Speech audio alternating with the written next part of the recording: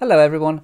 Today we're going to check out Azure Active Directory AD Sync and how to actually use Azure Active Directory AD Connect to synchronize our on-site users into the cloud. This is actually only one way that we can actually do this synchronization. The second way we can do this is through AD Cloud Sync and we'll be discussing that in a future episode. I hope you enjoy the demo and let's get straight into it.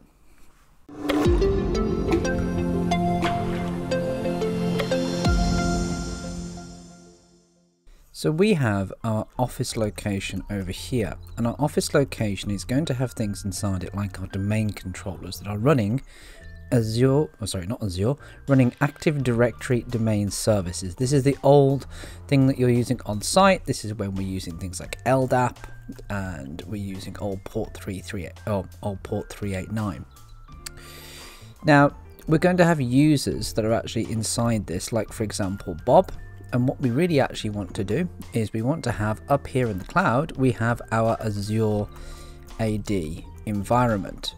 Now our Azure AD environment is going to be used to authenticate various different things, like for example to authenticate the Azure portal, like for example to authenticate things like Office 365, to authenticate things like Slack and Salesforce and anything else that you have actually hooked into your Azure Active Directory environment.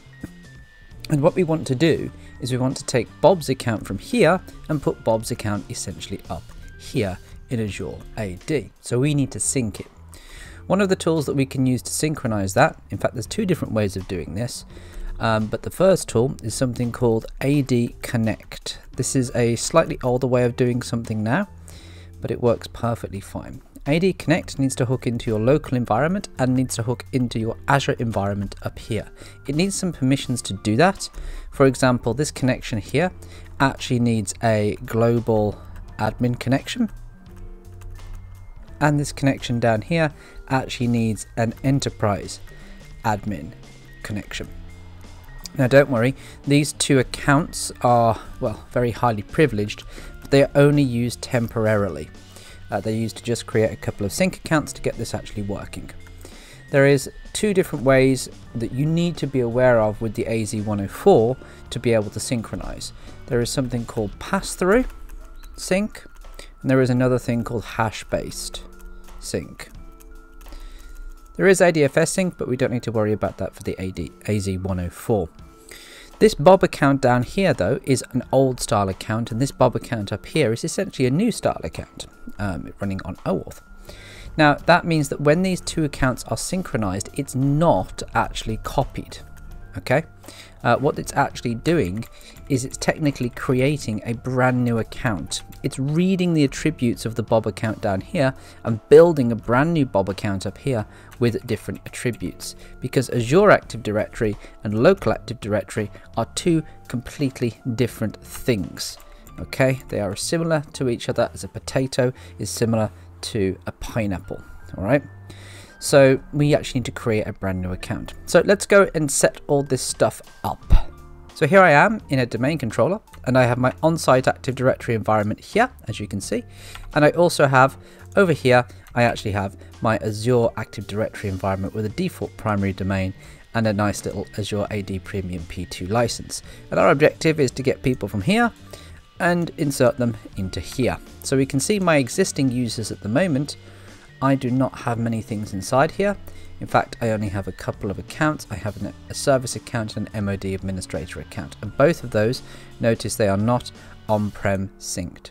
So if I drop back here, what I want to do is I want to go into AD Connect and I need to download this AD Connect tool. Notice there is actually two different ways of doing this here. There is AD Cloud Sync and there is Connect Sync. We are going to discuss Connect Sync at the moment and we'll discuss Cloud Sync in the future. So if we go to AD Connect Sync here, we have a few options and we want to go and download this AD Connect client. Okay, so I'll download this AD Connect client, pull that down. Internet Explorer has been retired as of June 15th. It's good to know, just in case I was planning on using Internet Explorer for anything at all.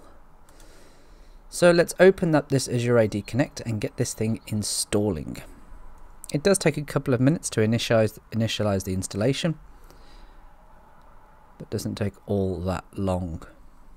So my Azure AD Connect utility is currently installed. I'm going to accept these license agreements, click continue, click customize, and you'll notice these are some of the settings that we can add. I'm not going to use an existing SQL server or an existing service account. I'm going to let it create it all itself. This does require the use of something called SQL Express, but it will actually install that automatically for us. So we'll wait for this installation to complete. Shouldn't take all that long. Okay, now this is complete, we have been given a few options. The two options that we're really bothered about here is password hash synchronization and pass-through synchronization. I'm going to choose password hash synchronization for my current uh, installation, and we're going to connect to Azure AD. I'm going to pop in these usernames and passwords, and we're going to click next. While that's sorting itself out, we're going to drop back to the whiteboard really quickly and discuss pass-through and hash-based sync. If you do a hash-based synchronization, the main thing that happens here is that Bob's key, i.e. his password, actually gets synchronized up here to Azure Active Directory. That means if Bob is over here and attempts to log into a service, Azure Active Directory can authenticate Bob and return it directly to him. On the other hand, this might not be part of something that you can do because of compliance. So if we just take that queue off, Pass-through authentication is slightly different. The key never leaves the on-site system. So in this case, if Bob actually wanted to authenticate Office 365 and needed to authenticate his account, that's actually going to zoom all the way back down here to complete that authentication and then pass that back to Bob. Therefore, the key never leaves the system if you need to be completely compliant. For most people, hash-based synchronization is perfectly fine, and to have Microsoft actually have your passwords up here is not too much of a problem. So let's drop back here. Uh, we're going to connect adatum.com, which is our on-site Active Directory environment, and we're going to pop in the enterprise admin username and password here. This is going to make the connection to our on-site systems, as well as our connection to our Azure AD systems inside the cloud. So let's wait for that to synchronize. I'm going to continue that matching all UPN suffixes. All this is basically telling me is that my UPNs here, adatum.com, are not quite lining up with actually what I've got here in Azure Active Directory, which is if I drop back to Azure AD, you can see that that is this default address down here. m365x34647484.onmicrosoft.com, which is a temporary domain. In reality, you would synchronize your actual domains and you would add a custom domain name here to your Azure Active Directory that would kind of line up with what you've actually got on site. So we can choose to synchronize people in a number of different ways. If I chose next, next, next at this point, I would synchronize everybody. I don't want to do that. So I'm going to subselect via organizational unit. I'm just going to grab everybody in the IT organizational unit here. You could also uniquely identify users with different sections as well. So you can use specific attributes. Say, for example, you could use specific locations, or what a lot of people actually tend to do is actually use the filtering section over here and synchronize people based on a group. So you go and select a group like, for example, Office 365 or cloud users and synchronize everybody in there and leave other people on site. One of the things we do need to be aware of is making sure that this is actually turned on, password hash synchronization. That means um, one of these things that we need to turn on is password write back so that our passwords that exist inside the cloud actually get written back to on-site if somebody changes their password in something like Office 365. So let's configure that and we'll start that synchronization process. And that's all completed. Now we should have to wait for a few minutes, maybe 10 or 15 minutes for this initial synchronization to occur and we should be able to see those users reflected inside Azure Active Directory in the cloud. So we can now see all of our users are currently synchronized and our on-premise sync is set to yes here. Now there is one other thing to mention. If we go into somebody like Abby Skinner here, and this does actually depend on your on-site configurations, and I edit the properties of Abby Skinner, you'll notice there's a number of different things that have been synchronized down here. But there is also something very important that isn't. If you watch my previous videos, you'll know that the usage location here is incredibly important to be set. If this isn't set, a bunch of things don't work. Things like multi-factor authentication. If I drop into licenses for Abby Skinner here and click add licenses and attempt to add something like a Microsoft Enterprise Mobility Security E5 license, notice my license assignment has failed. Now if I go into the error for why that's actually failed here, you'll notice it cannot be assigned to a user without a usage location specified. So all of these synchronized users need to have their usage location specified for them to actually even receive an Office 365 license.